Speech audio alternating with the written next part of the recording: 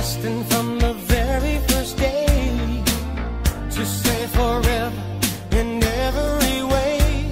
You're the sun.